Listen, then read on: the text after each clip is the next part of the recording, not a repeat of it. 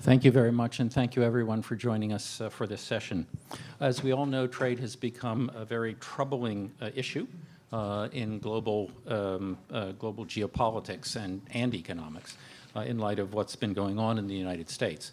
Uh, so what we thought we would do in this panel together with a very distinguished group of people is to have perspectives from acad academia, business, and government with long, long years of experience uh, talk about how the world trading system is evolving, uh, where the business opportunities are, uh, and then uh, where uh, the feedback will work politically among all these things going forward. Uh, so let me thank our very, very distinguished panelists for joining us today. You can read their, um, their um, bios in the, in the little book. I don't want to take any more, more time than necessary introduction. So let me just begin with about five minutes or so uh, on the issue uh, of where international trade agreements are going. Um, we've seen uh, the uh, trouble with the TPP. We'll see what happens next. Uh, but uh, where do you think things are going? If I can start out with Dr. Solis. Um, Solis, excuse me.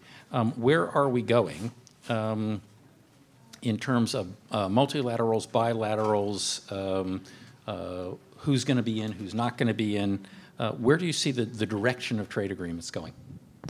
Uh, thank you very much. Uh, first of all, I would like to say that it's a pleasure to be here. This is my first time at the G1 conference, so I very much appreciate the invitation. It's been very refreshing to see the robust back and forth that takes place in this session, so I'm sure that we're going to have that mm -hmm. this afternoon as well.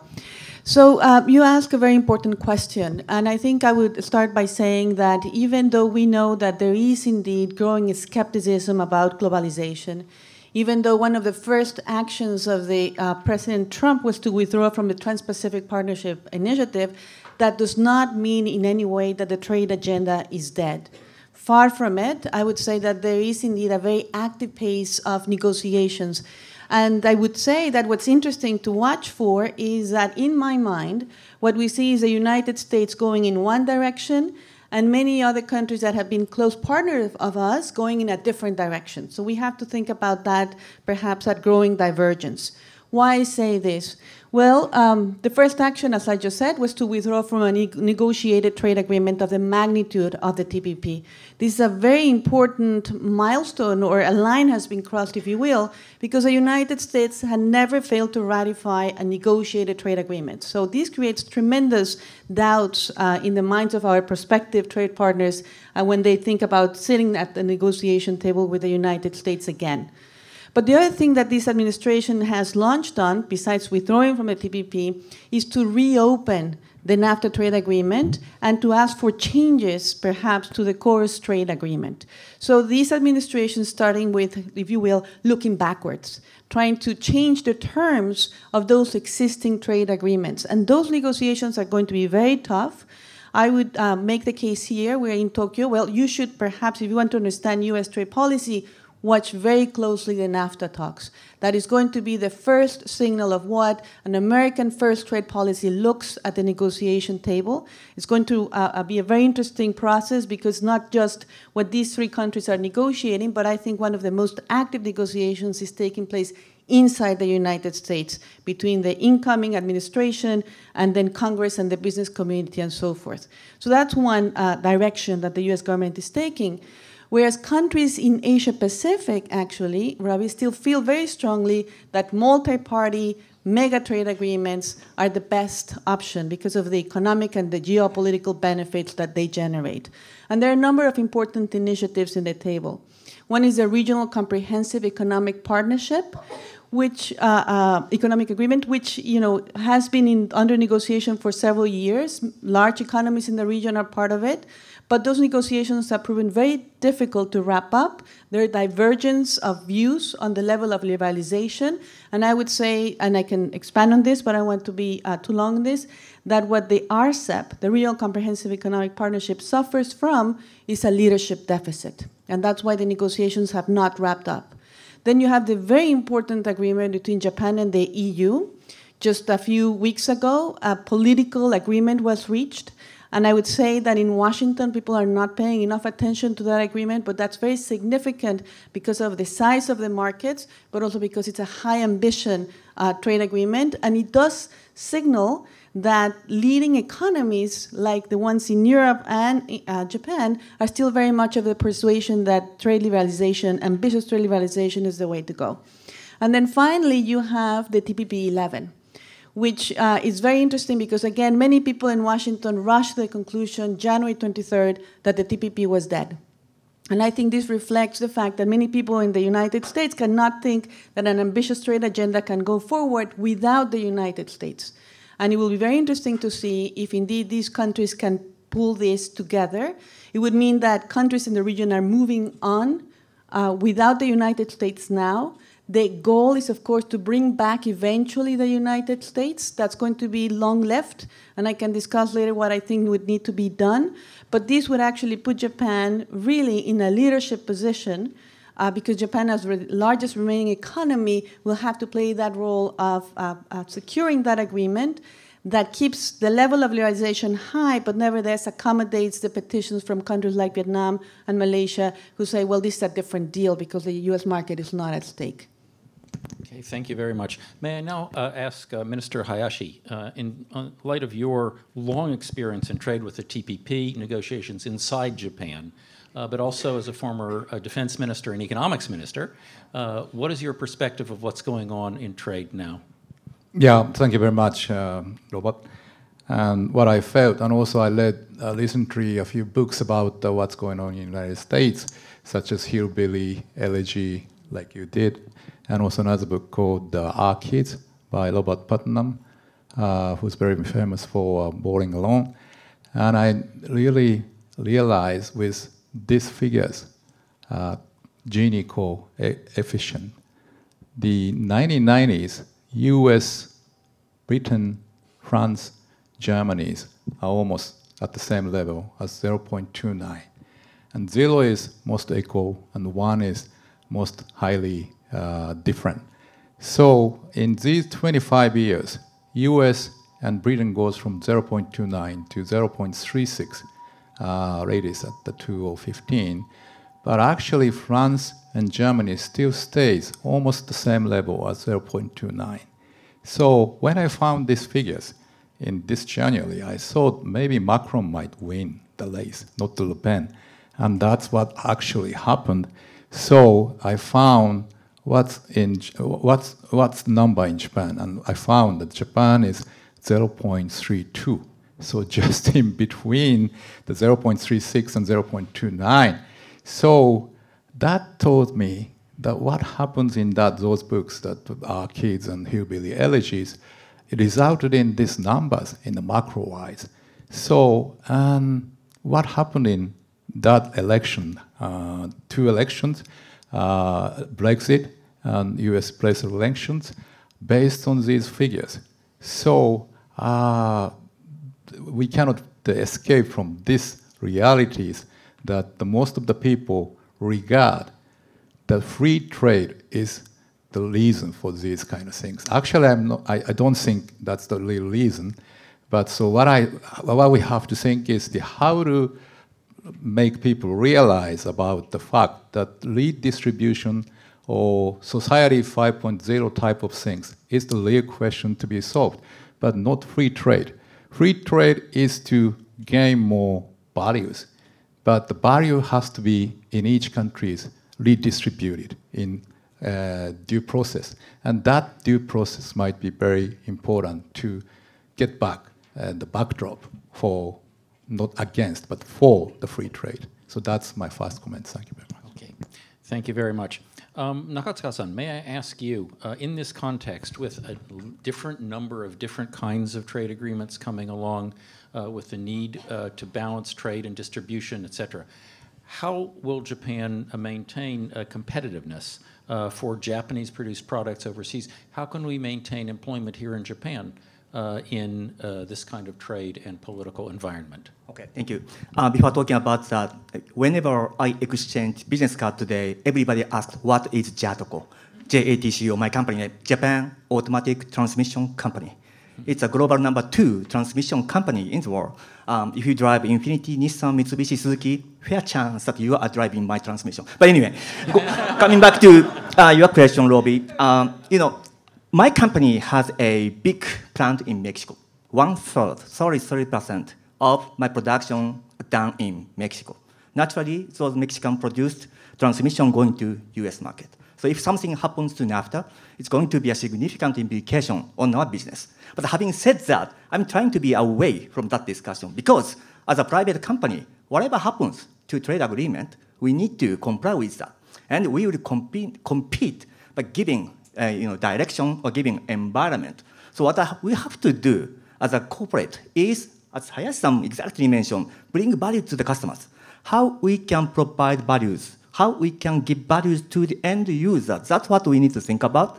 So we may need to think about the new logistics arrangement. We may need to think about where to produce, etc. What that's what we will do. But at the end of the day, what I would like to say is what is good for the end user, what is good for the customers. That's as a corporation I need to think about. That's my quick response.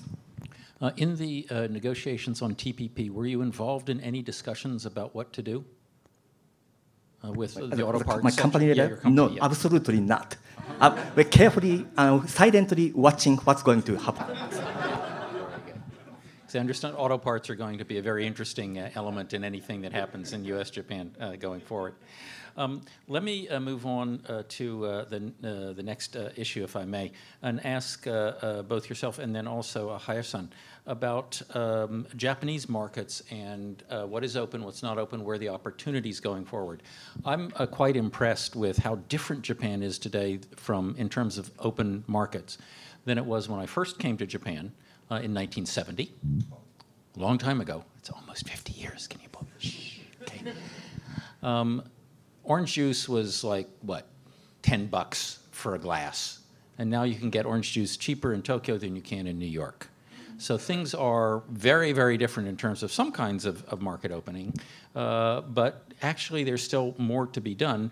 Uh, in some agriculture, a lot in healthcare, a lot in education as well. Uh, so Hayashi-san, if I could start with you. Um, can you tell us a little bit about what uh, the government is doing in education and how that might affect trade in uh, education services? Yeah, before, before I go into the, the, education, I briefly would like to touch upon agriculture because I was an agriculture minister too. And actually, when I started the negotiation, not with the United States, but negotiation with the party, our party, and it, almost it's impossible. But actually, step-by-step approach was very successfully achieved. The first, before TPP, we go with the uh, free trade with Australia. And beef was the key issues for that. But uh, we can match with the uh, EPA with Australia, with TPP, and we could see that the Japanese beef market is 40% domestic and the remaining 60% are shared all, almost all by Australia and the United States. So for Australia, before TPP came in, they don't have to be have to get the final answer, right? So they need something a little bit superior to the situation of the United States before the TPP really starting. So that's what we are trying to do, and actually I think we could do that, and that will uh, enhance the TPP process itself, but also very importantly, enhance the understanding of the party side. Party side means Japanese producers. And actually, after Australia EPA started, actually almost no damage to Japanese producers. So that's kind of immunization, yobo chusha. And everybody knows that yobo chusha is you know, king itself, right? And small amount. So that things really worked, and that's the beginning of the change here. Even so, 1970 is a little bit different to talk about, but the 92 uh, or 10, mm-hmm. it started the change. So back to the educations. Uh, when we are kids in the school, there's very strict wall between the inside the school and outside school, and anybody who can stand in the classroom should be the teacher. But now I found out, you know, getting to this ministry, any many kind of people, you know, English teachers or club activities teachers like baseball, and also school counselors, and now we are trying to get the lawyer too, for maybe not inside the school, but they can still give the advice to the teachers. So that is now what's happening at the school. So actually, it's like agriculture's you know, situation uh, started in 2010. Education uh, front is also becoming really open. So could be some uh, you know interesting talk for uh, free trade for education. I don't know, but uh, uh, you know, classroom is really changing. That's what I feel. And who is harder to negotiate, the Americans or the LDP? In back in 2010? Yeah. Mm -hmm. Yeah, both. And actually, uh, I was really uh, make good friends with the USTR uh, Froman, and we sometimes met, and they're having hard discussion with the Europe, um, especially with GI. So I, I made him a joke that you also have a very good uh, GI in United States, and he asked me what. So I said Kentucky Fried Chicken. So, but uh, oh, nobody funny. Uh, GI is a geographic indications, so I should talk about that. But but you know it's very tough, but also that's the dealing both side at the same time. So if you miss the timing, it's really suicidal. And now you have to deal with the teachers association. Ah, everybody says that, uh -huh. but actually, we as a ministry is not in a position to deal with them. Actually, each prefectures and uh, uh, many times uh, also the uh, mayors and all those uh, level are the real employee employer for the teachers. So actually, there's no such Nikkyoso and Monkasho's fight nowadays. Okay, very good. Nakatsuka-san, can you comment a little bit about um, Japanese market opening uh, and what, what you see happening there, if anything? Yeah, if it comes to auto industry, it's already opened. Uh, 0% duty when import you know, cars to over, from overseas countries. But if we, when we export uh, the automobile, we have to pay like uh, US 2.5%, China 25%, Europe 10%. It's still there. However, having said that, Japanese OEM historically for the last 20, 30 years promoted localization. So the, that kind of the duty arrangement is not that a big issue at this moment. Therefore, uh, you know, we, I love status quo. If it comes to free trade agreement, of course, more open market. You know, we are in a discussion with EU for the EPA agreement with EU countries. That will be a, a opening up or reduce the uh, tax for uh, automobiles and plus automobile parts. That will be a plus. But it, since Japanese automobile companies already promoted localized production in European countries, that impact is not that big. Therefore, I, we welcome we welcome any free trade agreement. Uh, we welcome any you know free trade and reduced tax duties, etc. But you know that's not going to be a big issue. And the more big, big, much much bigger issue is a mega trend in coming to a auto industries like you know EV, autonomous driving, you know, connected cars, etc., etc. That's going to be a much much bigger issue from my perspective. Do you think there's a need at this point to create common standards for electronic vehicle parts, and that that might help trade? Is that happening or not happening? Uh, it's very good question. Uh, make to let me make that answer quick. Japan, you know, built very tremendous supply chain in the past. Toyota supply chain, Nissan supply chain, Honda supply chain, etc. So they have different platform. There is no common sharing of the parts or technologies. Versus what's happening in the US or China or European, they are a kind of consortium going on between among you know industries, you know, the colleges, government institutions, etc. So for Japanese standpoint, to compete with that kind of mega trend, we need more collaboration. That's my personal view. And that's going to be applied to EV as well. That's my view. Thank you very much. Let's move on uh, to a somewhat related but important issue, which is the tension uh, between um, multilateral and bilateral uh, trade agreements. Um, uh, in the post-war system, multilateral agreements were thing, the best thing. They got harder and harder to do. I have a little um, uh, theory that the difficulty of the negotiation goes up uh, with the square of the number of countries involved. And now we have 150 countries involved in this. This is not going to be easy. So what happened next, of course, is regional agreements and in some cases bilateral agreements.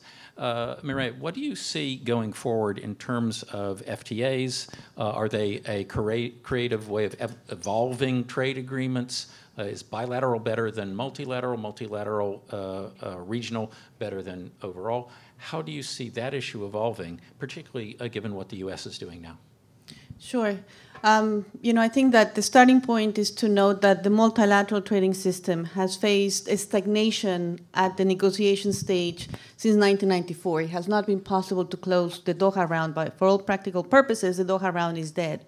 And that has to do with the challenge of having 150 plus members agree on a deeper integration agenda and you know, the legalization of WTO also means that these agreements bite, and therefore many countries at very different levels of development are just not prepared to go forward with a single uh, undertaking, a single package. And governments have adapted to that by negotiating preferentially. And you have the bilateral option and you have the regional option. We hear now in Washington, coming from uh, the Trump administration, that the uh, best choice is the bilateral route and I think that the argument they make is that this clarifies the calculus. It's easier to know what the cost and benefits of the negotiations are. And you know also the fact that the United States is the largest market out there, and that should give you advantages when you negotiate one on one. I actually believe that bilaterals are not the best way to go in general. And I would start by pointing out that the United States came to the TPP because it was actually quite aware of the shortcomings and the limitations of the bilateral route. The first trade policy that the United States pursued in the region once it went outside the WTO was mostly on the bilateral uh, track. And therefore, you have agreements, say, with uh, Singapore, with Australia, and so forth. But it was also very difficult to wrap up some negotiations. The ones with Malaysia, for example, they came to nothing. The ones with Thailand. So just being the largest market does not guarantee that you're going to get your way in a negotiation. Trade agreements must depend on the agreement on both parts. And uh, you know, so the, the risk of these bilateral trade agreements is that they take a very long time to negotiate if you go one by one. They tend to generate idiosyncratic rules, rules that just apply to the two countries. It's very difficult from there to think you can build a larger regional architecture, and they're built-in transaction costs because basically you're telling your exporters that they have to learn and work with, say, 13, 14 different type schedules. And there, of course, the rules of origin that a lot of paperwork so that you can enjoy the benefits. Whereas in a multilateral regional setting, you take care of those inefficiencies because something like the TPP has cumulative rules of origin, and therefore you can attend to the needs of the supply chain. Um, and then the, the markets combined are much larger, and it has also been shown that countries are prepared to make larger concessions at the negotiation table if they're thinking about the larger pool at stake and therefore that's why you can get more liberalizing outcomes if you pursue uh, the regional uh, track. So, um, you know, I think this is where we are. I think that the United States now faces the risk of exclusion from the regional architecture because the bilateral route is not yet taking off. And uh, some of the things that they're putting on the table in terms of trade philosophy, you know, uh, trade seen in a zero-sum way, is obviously not creating a lot of confidence from prospective partners to come to the table. What about the aspect of bilaterals in Congress? I've heard that it's extremely difficult to get bilateral agreements through the U.S. Congress because there are just too many little U.S. vested interests involved. Colombia-U.S. agreement is an example. Could you comment on that as well? I think, it, yeah, uh, it's broader than that. I think that uh, trade has become very difficult for American body politic, and it's going to be difficult if it's a bilateral or if it's a, a regional. And I think that we have to understand that, you know, the backlash against trade agreements started really after the NAFTA negotiation. You had support in the Democratic Party decreased markedly after that. And uh, you know, just uh, to give you an example, Trade Promotion Authority, which is necessary for uh, these agreements to have a fighting chance of ratification, uh, the last time the vote took place, only 28 Democrats voted for uh, Trade Promotion Authority. So very difficult to bring the Democratic Party. And now the questions also are about the Republican Party because that support also seems to be eroding. And the question we have in front of all of us is how we make uh, trade liberalization work in the domestic political system in the United States. Hayashi-san, may I ask you? Um, trade uh, agreements seem to be easier to get adopted in Japan than they are in the United States. Nowadays? The, these days, yeah. Why is this? What is different about American and Japanese politics now that makes trade agreements easier to adopt in Japan? I think one of the reasons is uh, the point I made at the beginning. I think uh, more difference between the, the group of the people result in, you know, they need something to attack on, and the, you know, the, the campaign of the uh, current president utilize the free trade as that scapegoat. So now the group of the people who are staunchly supporting the current president is really believed in that. So actually, that is shown to the congressional uh, situation like Mireya-san uh, explaining about. So that's why by uh, our side is really specific program. Automobiles, free trade already, machinery, strongest. So only few areas like agriculture, maybe pharmaceutical, and for the future, maybe education could be that. But specific approach is more easier than the overall issues such as in the United States. So that's why we could, we could almost overcome the agriculture issues almost in, in these five years. So that makes our position more stable. Uh, we have no big allergies to the word free trade, as in the United States politically. Nakatsuka-san, may I ask you, um, when you are trading uh, from your Japanese or Mexican factories, uh, is the administrative burden of having very different rules for different countries, is that a major element for your business? Not at all. Mm -hmm. Yeah, it's very you know, standardized, mm -hmm. so no you know, uh, issues in dealing with different countries, different criteria, etc. Very little. And that's probably because you're in a, uh, an industry where ha that has called standardized uh, parts and standardized uh, sort of uh, rules about the way things have to operate. Yeah, and probably the reason is promoted localization, more local you know, production for long decades. So I think that's why we don't have any trade issues these days. Okay, very good. Thank you very much. Um, let me move next uh, to a sort of related issue, going back to what uh, Mireya said and some others. The role of China.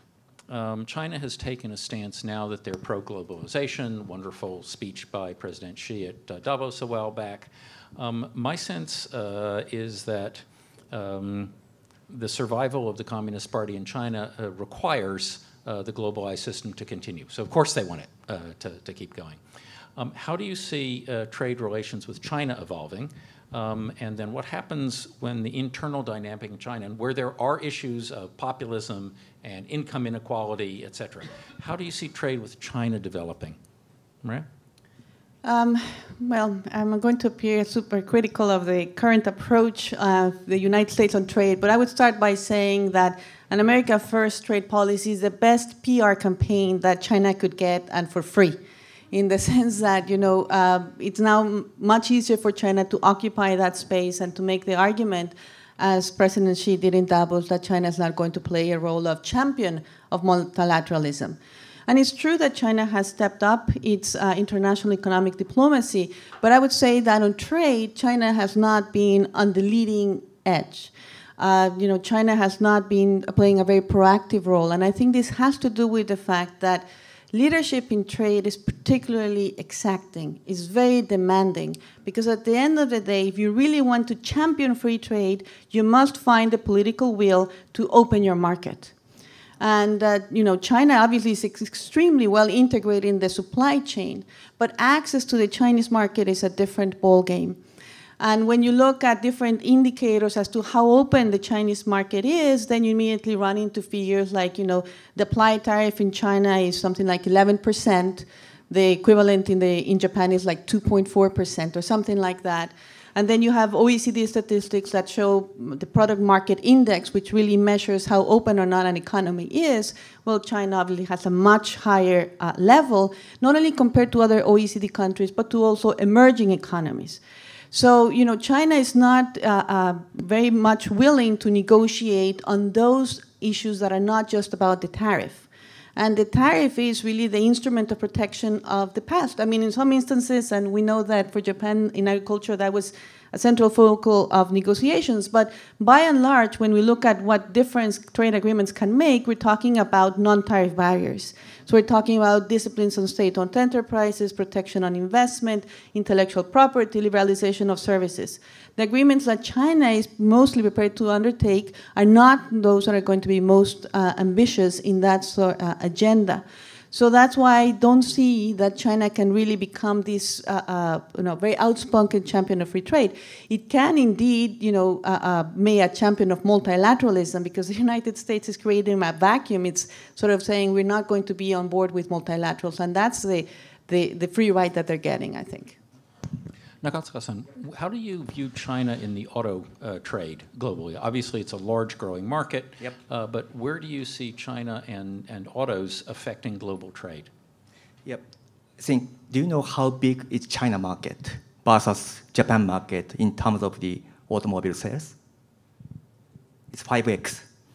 So a huge percentage growth in China has a you know, much, much, much bigger than Japan's sales growth. So I mean, China is such an important market, and we have a big factory in China as well. And you know, if it comes to you know free trade, I don't see any issue, and because China's growth ratio overrules everything else. So you know, uh, there is a tar- still tariff uh, to you know export to China market, but you know, the all the OEMs promoted local production so by forming a jo- joint venture with Chinese local uh, players. Therefore, the, our key is that how China is going to implement new policies if it comes to automobile, like EV ratio X percentage by year 2000 XYY.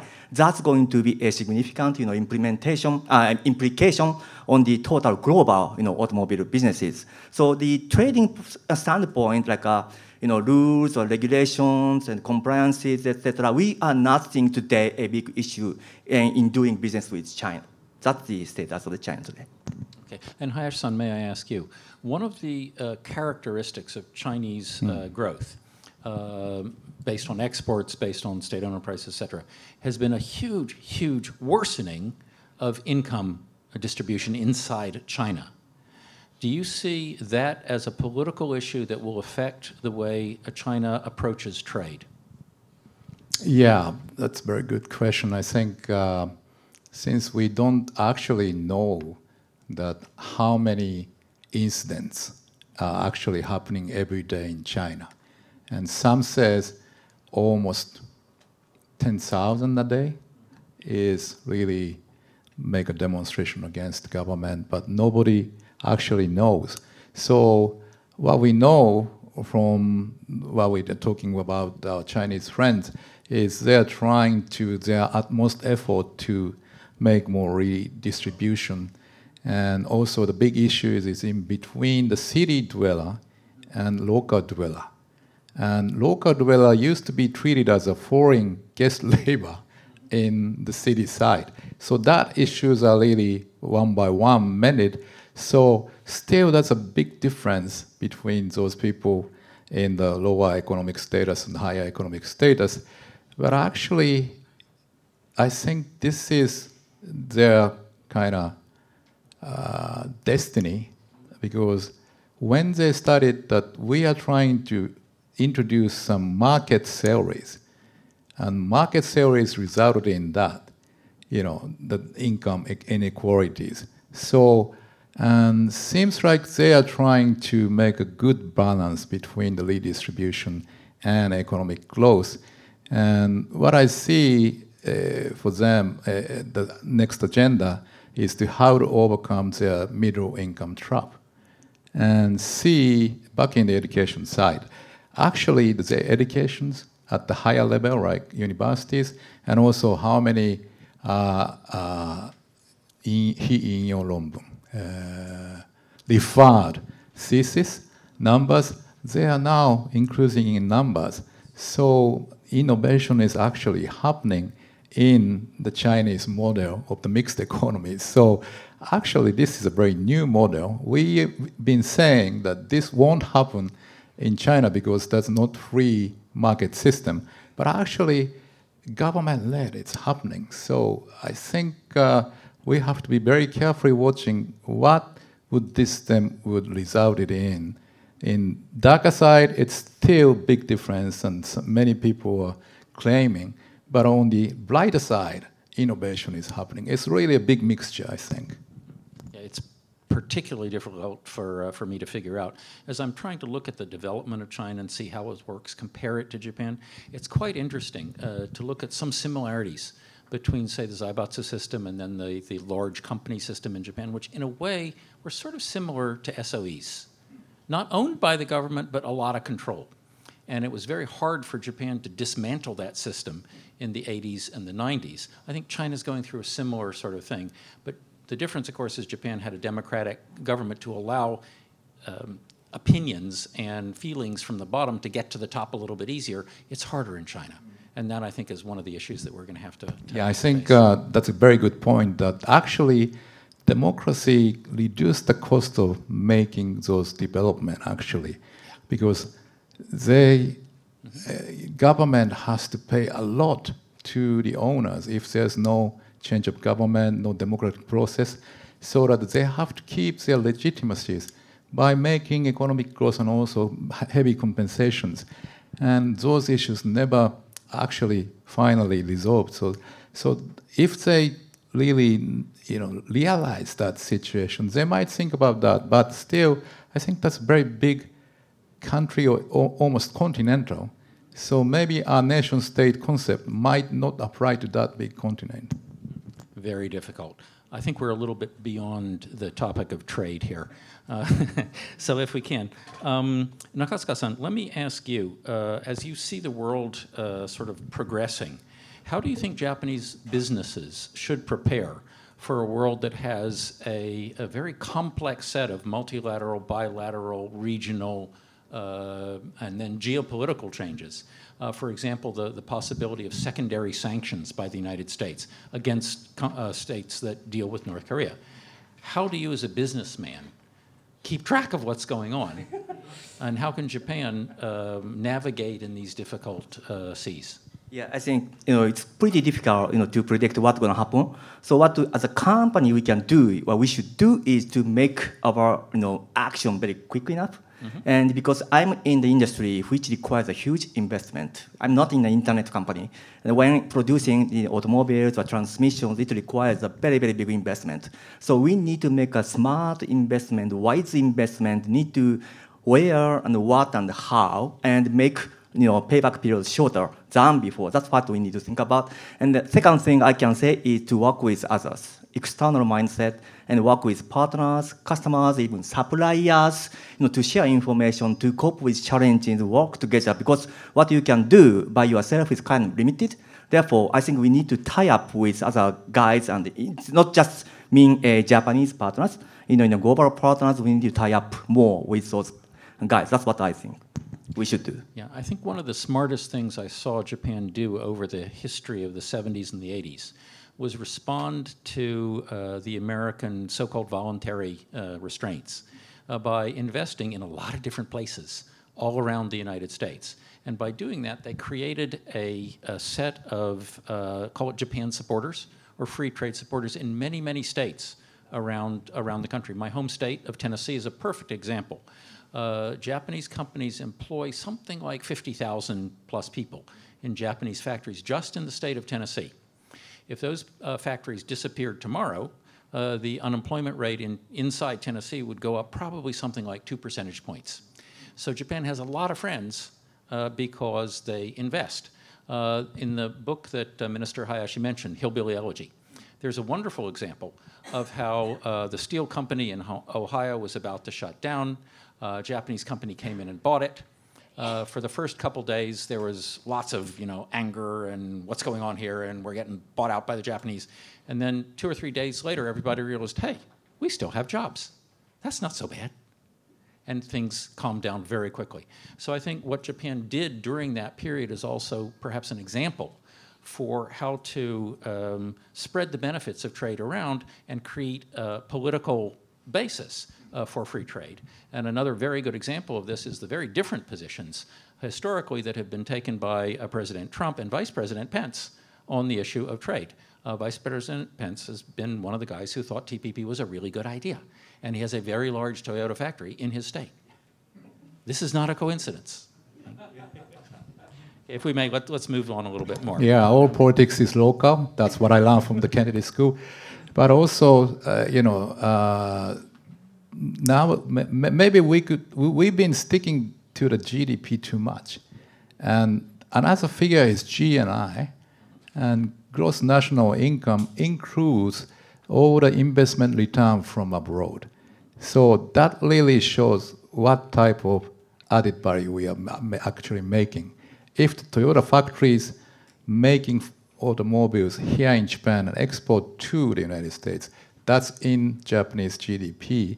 But if that factory moves to the Tennessee and making cars over there, but still returns something, that increase the return here while making employment there. So maybe if we see GNI, maybe that issues might be more easily conceptual.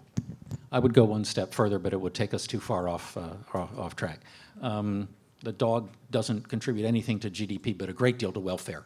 And so we have to think about that too. One final topic before we go into Q&A, uh, which is the issue of trade and geopolitics. Uh, the Trump administration has now come up out with the idea, sort of a, a threat, uh, that countries that uh, trade with North Korea could be cut off from the American market. Okay? Uh, in a certain sense, um, you could say that, well, if you're going to be part of the world trade system, you also have to be part of the world security system since the United Nations has said that the North Koreans should stop, if you're trading with them, you're not part of the system. Okay? So you can understand the logic there. That said, is it really good, a good idea to connect geopolitical issues or uh, security issues with trade issues? Good idea or bad idea? Right. Well, in that specific example, certainly a bad idea because it's absolutely uh, not realistic, right? The United States economy would suffer tremendously if it were to decide to cut off trades with any other country that trades with North Korea. So it's not really doable, and it actually would come and hurt the American economy. But to some extent, geopolitics and uh, trade negotiations are linked, and uh, they are linked in very different ways. And some effects can be quite positive. If you think about some of the initiatives that have been put out by this administration and were walked back because of the geopolitical consequences, I'm thinking about uh, you know, the steel investigation, the Section 232, the idea that you would restrict steel imports out of national security considerations.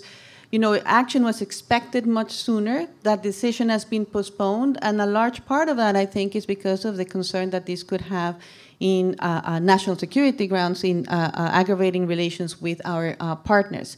And the other example more recently is the Korea-U.S. trade agreement when there was a, a somewhat of a tweet uh, out there saying that maybe uh, the United States would uh, withdraw from KORUS, and again the pushback from the point of view of the geopolitical consequence of doing this in the midst of a worsening situation in North Korea very quickly help dissuade the president not to do that, at least not for now. Very good.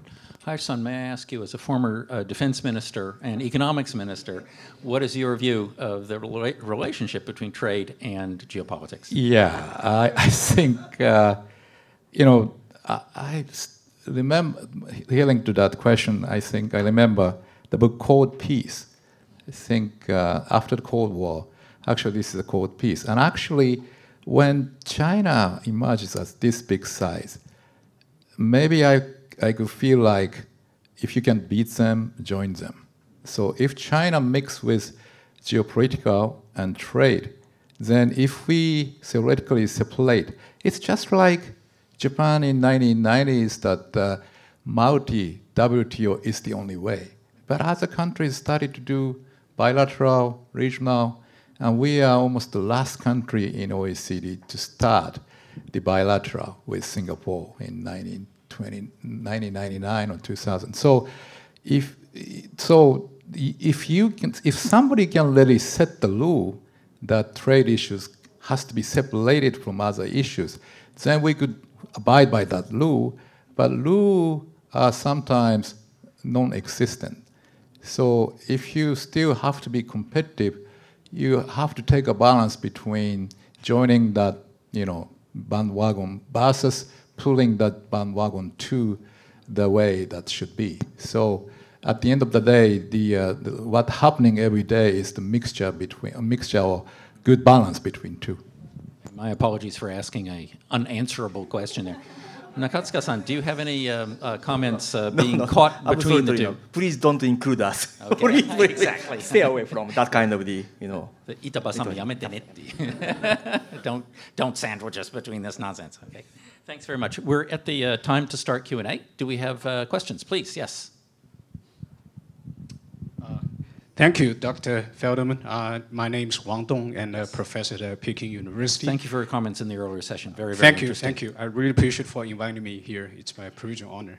Um, I enjoy very much this fascinating uh, panel discussion, and especially I think I, uh, appreciate and respect uh, the very deep understanding and insight about China. Um, Hayashi, Minister Hayashi, and uh, Mr. Uh, Takatsuna, and uh, Mrs. Solis, and of course Dr. Feldman as well. Um, the question I, I, I, I want to add is that, uh, in fact, I think currently uh, the, uh, the Mr. Uh, Nakatsuka, you, you mentioned the, uh, the auto uh, industry in China, and you yourself also put a lot of investment in China. I think one very recent development in China is this clean energy, new energy, like electronic vehicles. I just recall that a few weeks ago, Chinese government put up a timetable for fully stop uh, the uh, uh, fossil uh, fuels out of automobiles, which means it's potentially going to open a huge market for everyone. So, so I personally got that as also an area where potentially has a lot of uh, uh, potential, great potential for uh, China, Japan, and other partners coming together to, to collaborate. My question is, is the recently, back in May, China held this Belt and Road Summit, and uh, the Japan, Japanese government sent a very senior delegation uh, to China. Uh, we do very much appreciate that. My question, uh, and also for Minister uh, Hayashi, uh, and also other panelists, and Dr. Uh, Feldman, if you want to join as well, is specifically, in your view, how China and Japan can cooperate, really generate not only mutual benefit, but also providing more benefit globally. Thank you. Uh, Thank you very much. And uh, actually, I'm a Secretary General of the uh, Parliamentary League for China-Japan Friendship, and I've been in China for almost uh, every year, and including the youth. I used to be youth, and and, and visited China as a youth trip and meet younger leaders, and found out that uh, it's really you know, they're trying to change the system and, and trying to have innovation. And actually, partly, like I said, innovation is happening. So actually, used to be for US and Japanese companies, it's a market versus market and labor supply in China. So, but now uh, it's really the, the joint partners to make uh, innovations and at the same level, we could talk about the science and technology and education at the same level. So that's why uh, the important thing is to realize that we are different. When we think and talk with Chinese people or Korean people, our face is really similar, so that sometimes we feel we are the same, you know, uh, but uh, the background is different and culture is actually different. So always reminding us that we are partly different. So that's one very important thing.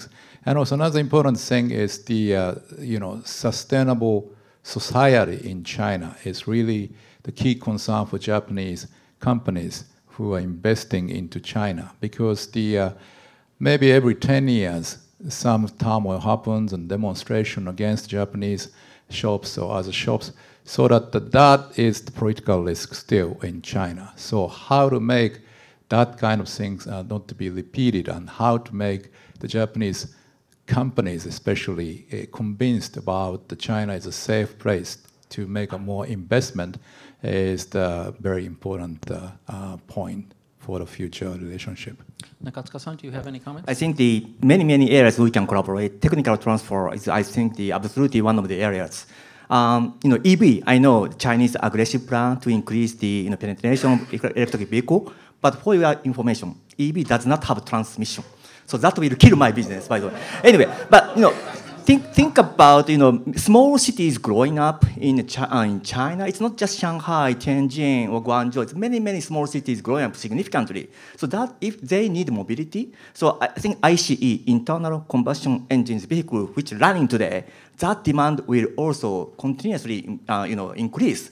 So the what we are thinking is how to localize our production or you know engineering you know, expertise in China, transferring some good technology that is a kind of monetized opportunities for Japanese, you know, engineering technical companies, you know, trying to you know, uh, uh, make our you know, technical presence in China. So that's kind of win-win. China can grow uh, their own domestic, you know, engineering capabilities, while on the other hand, we are kind of monetizing, you know, our you know, historical you know, investment we made in Japan. So those are the areas I can think about, and the, I, I trust the EV will be, you know, flowing uh, in the future. But at the same time, traditional you know, a card today for increasing mobility, that's going to be, you know, also a you know, growth opportunity. So technical collaboration is my answer to you. Very quickly, Mireya? Uh, yes, just two points on how to promote uh, China-Japan cooperation. Um, you know, Japan is the other country besides the United States that did not join the AIIB. But I think that uh, now with some track record of the AIIB, it has become a little bit clearer the standards that the bank is pursuing. And, uh, you know, uh, a lot of co-financing with the ADB, and I think that Japan could uh, do more to support that. I think that would be a good um, thing to pursue. And the other one is that it's, I think, striking that the three largest economies in Northeast Asia do not have a free trade agreement between the three of them. So I think bringing uh, to a conclusion, or at least some movement, because I don't think it's even moving, the China-Japan, uh, South Korea free trade agreement, and then uh, China stepping up and Japan stepping up on the regional comprehensive economic partnership would be tangible examples of cooperation. Thanks, and if I can make a quick comment, I have three words science, science, science. That's what's going to make it work. Next question. Yes.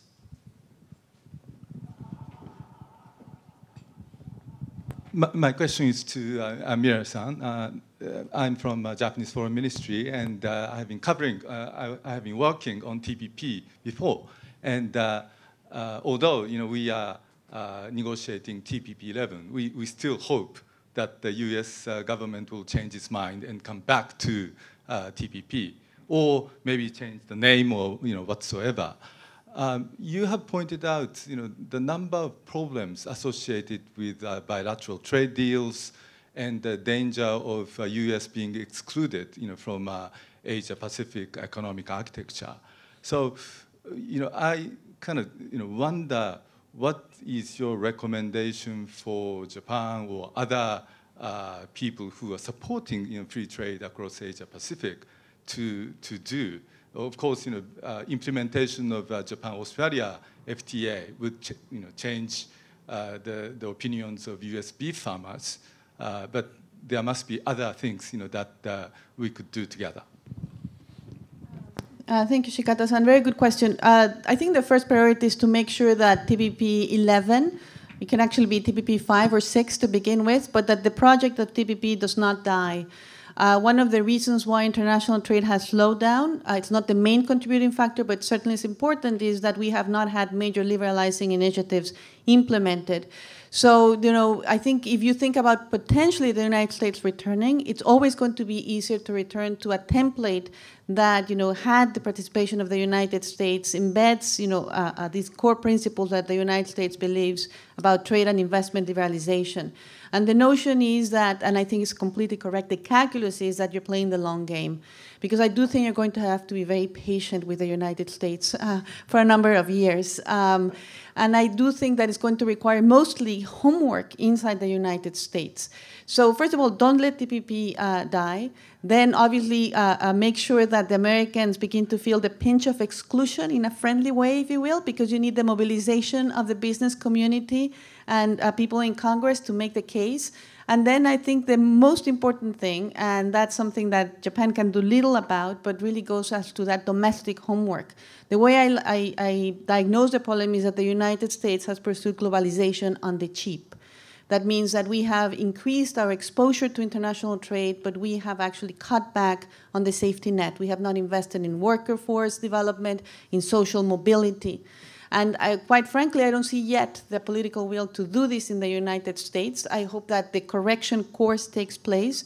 And only then I think that we can have a more sustainable trade leadership. But in the meantime, this is a relay race, and I think it's the, the, the, moment where Japan carries the torch uh, for all of us. Very good. I think there was one here and then over here. Here first. Thank you. Uh, my name is Hide Yuzaki, the governor of Hiroshima Prefecture. Um, you know, I guess the, this trade includes uh, uh, services and, and, and, labor and workforce, etc. And we've been trying hard to attract people to work in Hiroshima. And we also, you know, we want to push the uh, free trade, but we are now facing this U.S. Uh, new policy. And, and taking this, um, you know, situation, uh, taking advantage of this situation, can we uh, think more about uh, uh attracting brains? I mean, with this uh, immig uh, immigration policy changes, you know, we have more chances. And one question for Minister Hayashi is, you know, can we do more in policy-wise? And and question for Nakatsuka-san is, are you doing it? One more question before we start, oh. please. Yes, yes. My question is to Dr. Solis and Mr. Hayashi. Uh, just a quick question. Um, I've been following TPP since it was first mentioned back in 2010, 11, probably before that. Um, and, and obviously, to see the United States drop out of TPP was a big shock. I was, I was pretty surprised as well. But I did some background. I actually read the whole document, a lot of the paperwork on it. I actually read it.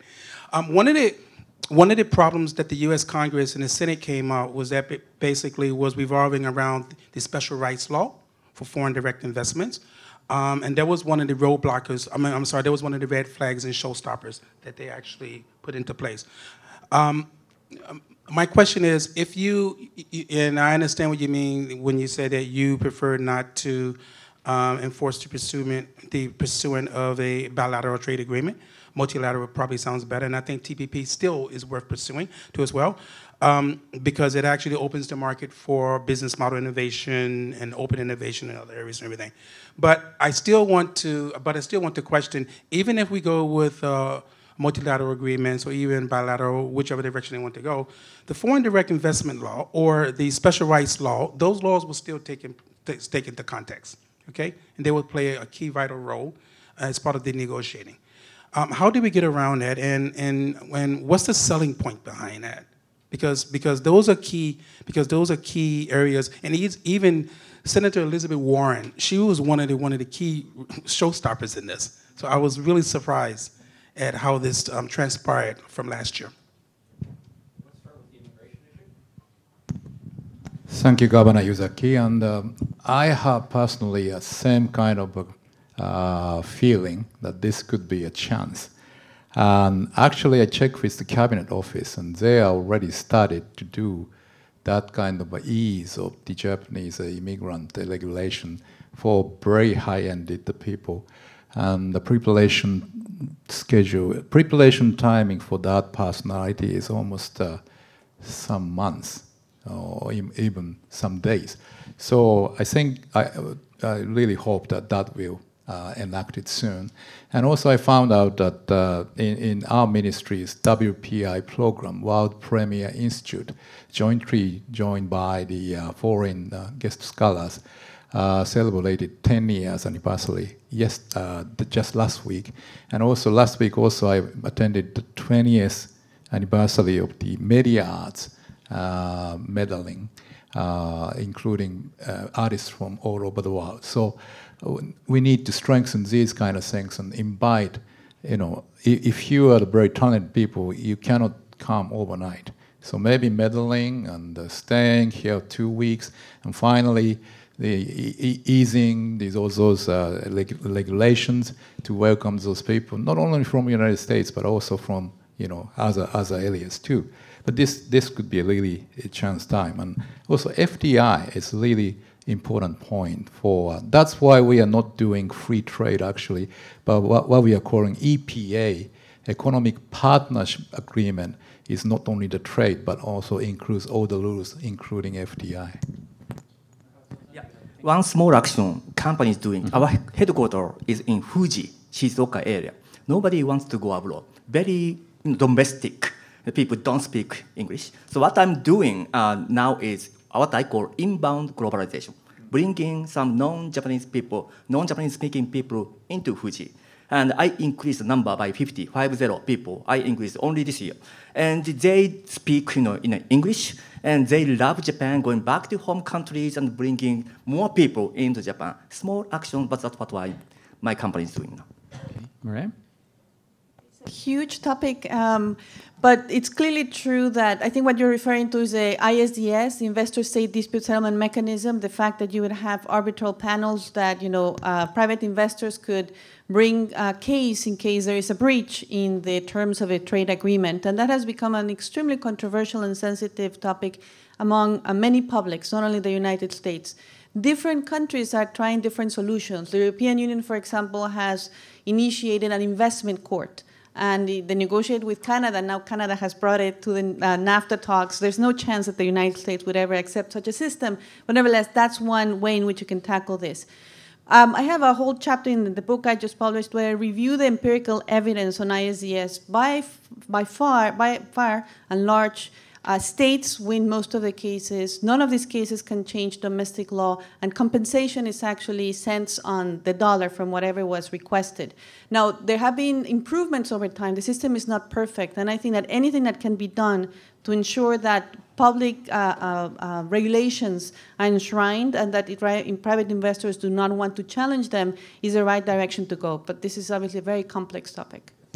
Okay, thanks very much. I think we're three minutes over time, so we have to stop here. Let me thank you very much for uh, coming and thank our panelists for an excellent, excellent panel. Thank you so much. That was great.